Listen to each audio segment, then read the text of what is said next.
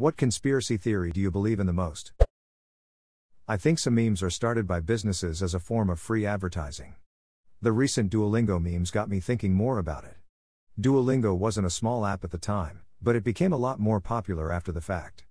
There have been other memes revolving around a particular product brand as well that make me think this is happening on a strategic level beyond some kid thinking ITD be hella funny to do this or that. I'm pretty sure this was happened with the movie Bird Box. It was all over Twitter and other social media before I even heard anything about it from Netflix. That's just a well made marketing campaign. That people give themselves Reddit gold to make their comment posts seem more important. Edit, thanks for the gold, you unnecessarily hipster. If you had gold on this ITD, be perfect. I believe that the company 23andMe will sell our information to insurance companies and medical companies in the future. Like the CEO was Anne Wojcicki married to Google co-founder Sergey Brin. Edit, Anna Wojcicki and Sergey Brin are in fact not married. Is Anne the sister of YouTube CEO Susan Wojcicki? They sure keep the power in the family, don't they? Yes. Truly a great coincidence for them to lead two massive companies. That's actually scary, since most of the DNA companies like that have it in the contract that they can hold it for future use in the company. Imagine if those two combined and Facebook YouTube, leading to Alphabet, had access to your DNA profile. And even if you didn't go to them, if your relatives did, they pretty much have your DNA. All those DNA ancestor sites are giving the government your DNA for their record. I mean, that's literally how they caught the Golden State Killer, like 30 years later. Just got another dude, also from Sacramento, for a series of rapes in the 90s via the same method last week. Edit. Link here. Oh, yay, apparently every serial violent criminal from the 90s is hiding away here in Sacramento. The dude was Rapon in Sacramento in the 90s. They got him in FL, they just come here to rape, because they know we're gonna open every goddamn window at night to catch that Delta breeze edit. Apologies, Floridians, nabbed in Ga. Spoken like a true SAC native. If the window isn't open as soon as it gets below the AC setting, you're missing out on valuable cool air. Coca Cola tested HFCS in place of sugar and found that while the taste was similar, people could tell the difference. They brought out new Coke to cleanse people's palates and waited until as much of the original formula products had been sold as they could. Then they cancelled New Coke and brought back Coke Classic, which was the HCFS version, and people didn't have any original stuff left to compare it to. The only reason they made new Coke was to act as a buffer so people wouldn't notice the change in ingredients. I absolutely hate HFCS in my drinks. I went to India over the winter, over there almost every soda has cane sugar as the sweetener, and I just can't deal with eating corn as my sugar. There's too much ducking corn in American food. I'll have to find the Twitter thread that documents all the uses we've found for corn and how it's in almost everything we eat. Mexican Coke is made with cane sugar and I can find it in glass bottles in almost every gas station in California. Costco sells it too. Marshmello doesn't actually produce his own music. My biggest piece of evidence is the creator arcade videos. He speaks and navigates Ableton like someone with only a basic knowledge of music production. He does everything number by number, producers don't do that. You can't just instantly know that sound needs a boost of exactly 1 dB at exactly 1.2 kHz without even listening to the sound first. He randomly pauses every now and then, presumably to be fed lines, and he seems to lack even a basic understanding of music theory, recreating MIDI by randomly clicking in notes with no regard for the key of the song. Someone with the level of skill he demonstrates should not be capable of making radio quality hits. His song Friends with Anne Marie is literally just a stock beat he got from a stock website, he just added the kick. That's crazy, can you link to a source? If you have Splice, you can search melodic guitar hooks 95 Amin acoustic groovy and it'll pull up the guitar hook. From Wikipedia, the major lyrics and drum sessions were completed in 30 minutes. Following next 2 hours, they completed the entire lyric session and the whole song was completed in 3 hours. Lol. Holy shit, I just played this side by side. Mind blown by the laziness to riches. Not really one single conspiracy theory, but I do feel like seemingly, quite often, if a big political scandal is breaking, something tends to happen that dominates the news cycle for a little bit. A shooting, celebrity controversy, something. That is just basic political game.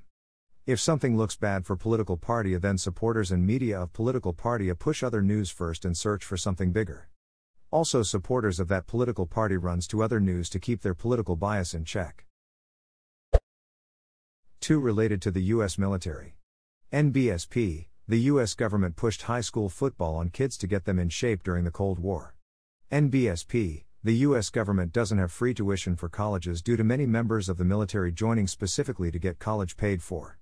It would massively decrease the enlisted count. The US government doesn't have free tuition for colleges due to many members of the military joining specifically to get college paid for. It would massively decrease the enlisted count. People who oppose free college often argue that it would hurt military enlistment, so I don't even know if this is a conspiracy. Just a little known conflict of interest. The military literally put out a statement saying that tuition free colleges would hurt their recruitment regime and thereby pose a threat to national security. Realistically, the only reason like 40% of the population even goes to college is because the military was like duck it well pay for it after World War II. Free college has been a huge marketing tool of the military for a very long time now. My dog is still living on a farm somewhere, 47 years later.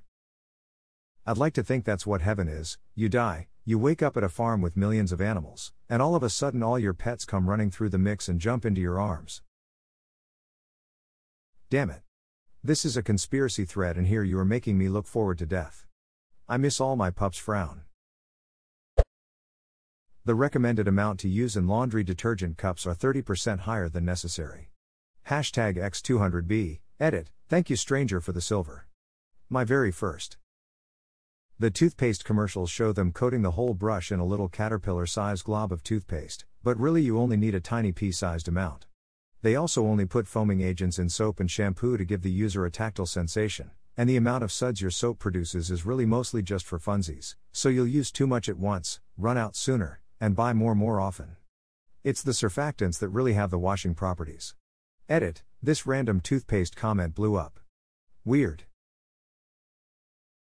Funsies needs to be used more often. Area 51 is just a front that was allowed to become popular in the public eye, but actually has nothing of value. Not saying aliens and bases exist, just saying Area 51 is allowed to be the popular secret base, thing to cover up actual secrets. I must correct my previous statement Camp David is a retreat, not an emergency location. However, that could also be a front. Also, not downplaying what the airmen at 51 do, just saying that what they do now is not likely as top secret as people are led to believe. There was a Reddit AMA with a guy who was verified career CIA. When asked about Area 51, he said it exists to keep you from asking about Area 52 edit. Here's a link, found by a Redditor and link below. Area 51 is just there to make you ignore Area 52. https www.reddit.com Rimakomensa 8co3 Jayamandru former cover Sika 3m2g? Ut medium android apitum source share. Not so much a conspiracy theory as a little known fact, because the head of the CIA admitted it, but the USA orchestrated a coup of the Prime Minister of Australia in 1975. Edit, FFS, here are your goddamn sources. Interview with a former American spy that worked at Pine Gap, an American military base in the Outback. YouTube.com audio recording of a history professor going through public perception of the Whitlam dismissal. ABC.net.o independent journalists research into the fall, hosted on The Guardian, but originally published elsewhere. Can't find the original link. TheGuardian.com There are also a number of documentaries and a movie or two on it. I know a few people suggested The Falcon and the Snowman as one that was worth a watch. Wait, what? Was it because of Vegemite? I don't know if this is a S or not, but I'm going to take this opportunity to explain as best I can. The Prime Minister at the time, Gough Whitlam, was trying to make sure that Australia independently mined their coal and sold it to other countries. Other countries, mainly the US at the time, did not like this, as they liked their cheap coal. So, the CIA ran an intense campaign to convince the Governor General to dismiss Whitlam. He was replaced by Malcolm Fraser, who, surprise, surprise, allowed the US to continue to get its cheap coal. The repercussions of this are still here in Australia, too. The major media outlets still relay lies about what Whitlam did, but have transferred it to whole Labour Party. And Australia is now in severe debt, partly due to the fact that we gave away our most powerful resource for practically nothing. Edit largely, partly. Edit Ausgov to vote out, GG to dismiss edit OK since it's been mentioned a couple times and I'd love to have a morning. I recommend watching this video if you want to do some further research. Be warned it is very Australian humor so it's not for everyone, but I do think it sums up what happened to Whitlam pretty well.